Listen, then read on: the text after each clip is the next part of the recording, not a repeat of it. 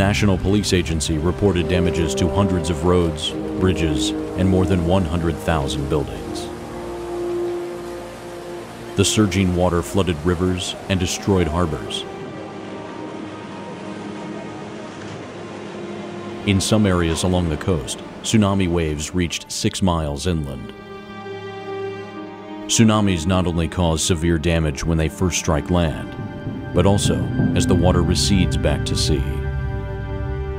Tsunamis can inflict this type of damage because of some unique features. As tsunamis